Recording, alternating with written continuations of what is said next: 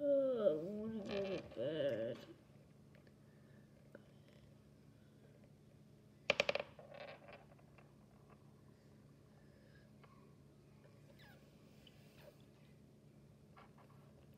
Oh my god. I don't believe my camera was recording this whole time.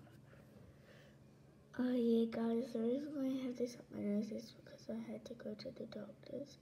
They gave me this and I can't really breathe well and yeah. Sorry for doing this live stream but yeah. I never knew it was actually recording so